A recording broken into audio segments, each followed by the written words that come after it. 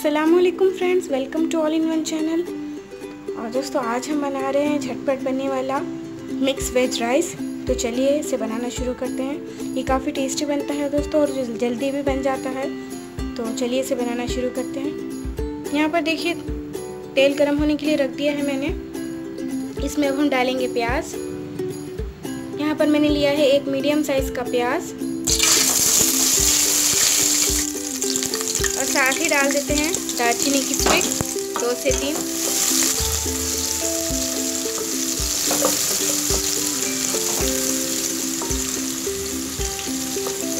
और इस प्याज को हमें गोल्डन ब्राउन करना है। गोल्डन ब्राउन फ्राई कर लें हाई फ्लेम पर।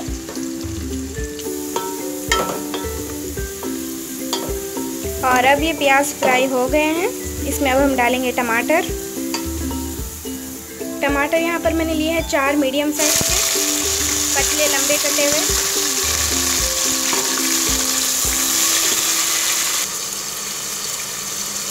इन टमाटरों को हमें सॉफ्ट होने तक इसी तरह से कुक करना है। अच्छे से सॉफ्ट होने चाहिए टमाटर। तो अब हम टमाटरों को सॉफ्ट कर लेते हैं।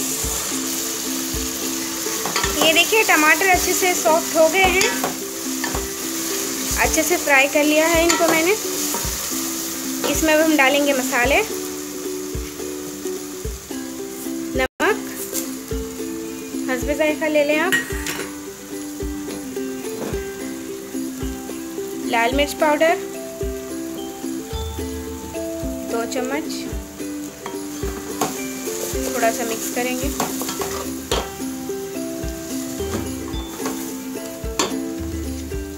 एक चम्मच धनिया पाउडर, एक चम्मच ज़ीरा पाउडर, तीन चौथाई चम्मच किचन किंग मसाला हल्दी, एक चौथाई चम्मच। और अब इन सबको हम अच्छे से मिक्स करेंगे मसालों को। और अब हम इसमें डालेंगे सारी सब्ज़ियाँ। ये देखिए दोस्तों, सब्जियों में यहाँ पर मैंने लिया है ये पत्ता गोभी, आलू बीन्स हरी मिर्च। यहाँ पर मैंने ये हरा धनिया है, बारीक कट कर लिया है। दोस्तों, यहाँ पर मैंने गोभी, आलू और बीन्स लिए हैं। जो सब्ज़ी आपके घर पर अवेलेबल हो, वो सब्ज़ी के साथ आप इसको बना सकते हैं। जो सब्ज़ियाँ मैंने डाली हैं आप चाहें तो वो भी डाल सकते हैं। लेकिन फूल गोभी वगैरह भी आप इसमें ऐड कर सकते हैं। और जो भी सब्ज़ियाँ आपके फ्रिज में हैं, घर पर हैं, आप उन सब्जियों से बना सकते हैं। तो चलिए इसमें अब हम डाल देते हैं आलू। ये एक मीडियम साइज़ का आलू है। इसको मैंने इस तरह से टुकड़ों में काट लिया है। थोड़े बड़े टुकड़े काटेंगे। और आलू डालकर भी इसको हम अच्छे से मिक्स करेंगे।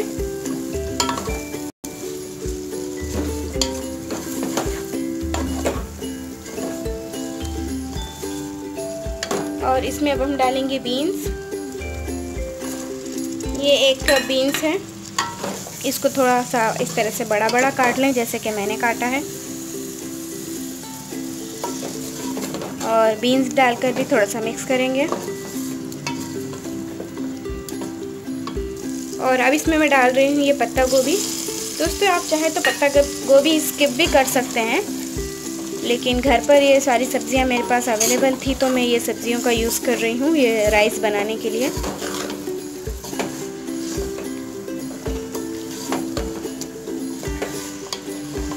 अच्छे से मिक्स करेंगे।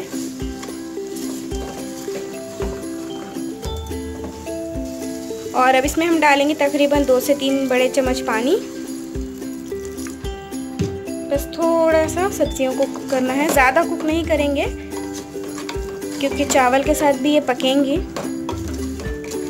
बस थोड़ा सा, तकरीबन तीन से चार बड़े चम्मच के करीब आप डाल दें और इसको थोड़ा सा लिड लगाकर पकने दें लो फ्लेम पर। ध्यान रखें, सब्ज़ियाँ ज़्यादा नहीं गलनी चाहिए, नहीं तो चावल के साथ पकते पकते बहुत ज़्यादा सॉफ्ट हो जाएँगी और हमें सब्ज़ियाँ ज़्यादा सॉफ्ट नहीं चाहिए। ये देखिए दोस्तों, अभी ये सब्ज़ियाँ थोड़ा सा पक चुकी हैं और जो हमने पानी डाला था वो भी सूख रहा है और तेल साइड्स पर आ गया है सब्ज़ियाँ। को बस थोड़ा सा कुक करना है हमें, ज़्यादा नहीं। और इसमें अब हम डालेंगे पानी। पानी मैं इसमें डाल रही हूँ दो कप। ये दो कप पानी हो गया। राइस यहाँ पर मैं ले रही हूँ दोस्तों, दो कप। तो पानी हमें चार कप चाहिए तो एक कप चावल का तो हमने दो कप पानी डाल दिया। अब हमें और दो कप डालने होंगे।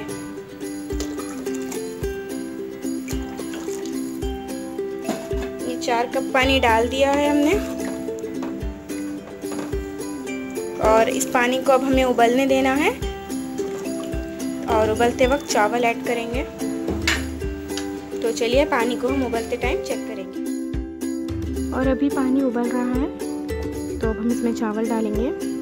भिगोया हुआ चावल डाल रही हूँ, लेकिन उससे पहले यहाँ पर मैं डाल रही हूँ हरी मिर्चें।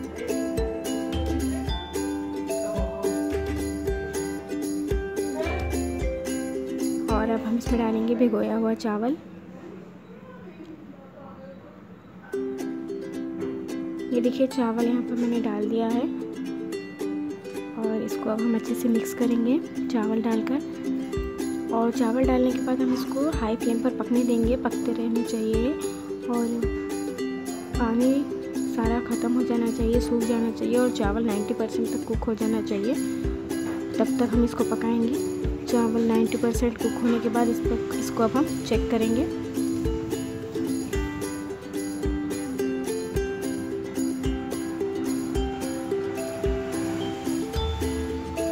ये देखिए, चावल अभी 90 परसेंट तक गल चुके हैं और पानी भी सारा ख़त्म हो चुका है तो अब हम इसको थोड़ा सा मिक्स करेंगे। ध्यान रखिए, नीचे चिपकना नहीं चाहिए पैन में। और अब इसमें डाल रही हूँ मैं कटा हुआ हरा धनिया। ये भी डालकर थोड़ा सा मिक्स करेंगे।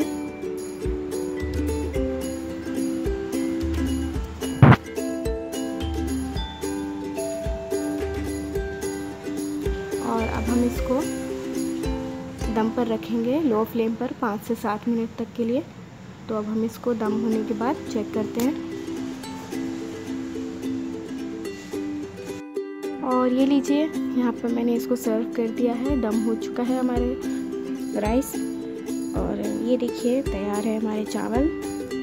और इसको हम गार्निश कर रही हूँ हरे धनिए के साथ।